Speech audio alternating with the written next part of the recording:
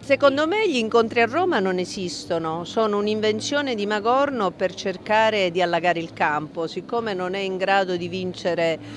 di, di, individuare un candidato eh, alternativo a Oliverio più forte di Oliverio perché appunt aveva puntato su se stesso ma evidentemente gli è andata male finge di incontrarsi con qualcuno a Roma. Ma per fortuna c'è il 2 c'è l'assemblea regionale e lì le questioni saranno poste tutte sul piatto Diretta e inequivocabile la posizione dell'onorevole Enza Bruno Bossio che intervenuta alla festa dell'unità a Paola ha chiarito la propria posizione, ribadendo che se il PD dovesse perdere le elezioni regionali la responsabilità sarà solo ed esclusivamente del segretario regionale del partito Ernesto Magorno. E Mario Riverio, anch'egli presente all'evento, ribadisce che le primarie sono state votate all'unanimità dall'Assemblea, dunque assurda questa querel. C'è qualcuno che invece non vuole le primarie, che non è il PD, c'è qualcuno anche del PD che evidentemente non vuole le primarie per impedire la mia candidatura, questo ormai lo sanno anche i bambini in Calabria.